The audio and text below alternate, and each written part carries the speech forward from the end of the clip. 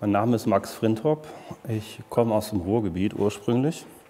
Prinzipiell sind halt die Formsprachen und Kompositionen, die ich mir zu Beginn meiner ernsthaften Auseinandersetzung mit Malerei gesucht habe, so aus der Naturwissenschaft heraus entstanden. Also die Haltung der Kunst gegenüber ist prinzipiell eine, die eine Spontanität zulassen muss, von der man selber auch immer äh, überrumpelt werden kann. Und wenn man das halt über Jahre oder Jahrzehnte weiterführt, entsteht halt eine Dynamik, ein Dialog mit seinem eigenen Werk, das über die Möglichkeiten von strategischer Entwicklung hinausgeht. Ich glaube, da liegt etwas, etwas Größeres, etwas Tieferes drin.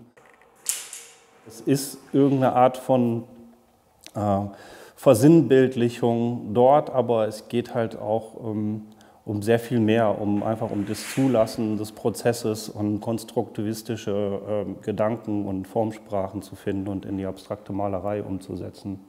Also ich finde sowas eher spannend, sich auf solche Experimente einzulassen und sich darin auch fallen lassen zu können oder zu müssen. Also es hat was so was von Hingabe wenn man einfach irgendwie diese Sachen als Gegenüber akzeptiert und nicht als etwas, was man strategisch in die Welt setzt, um einen Geschmack zu treffen.